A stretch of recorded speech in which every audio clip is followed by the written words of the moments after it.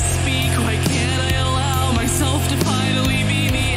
After years of suppression, irrational aggression, he makes sense, but my brain tells me that I shouldn't let him make sense. He's not allowed to exist. No, he is not who I am. I'm my mother's loving daughter and my father's loving daughter. I'm my brother's loving sister. I can never be a mister, only